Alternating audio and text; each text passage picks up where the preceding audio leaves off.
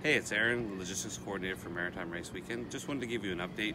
We have changed the start finish this year. So, what used to happen last year is you would come out of Fisherman's Cove and down Shore Road, and when you returned, you would go all the way down Government Wharf Road and around.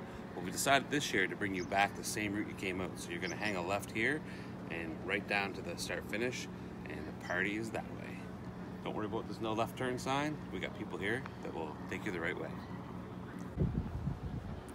One more thing, don't worry about the distance because what we've taken away on this loop, we've just added on the other side, so your distance 5, 10, and half are still the same.